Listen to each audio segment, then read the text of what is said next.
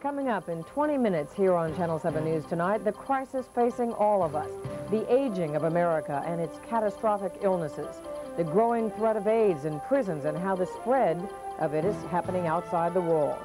Tonight's storm is causing all kinds of problems around the bay. Pete Giddings will have the forecast, and we'll show you what would happen to the bay if some scientists' predictions come true.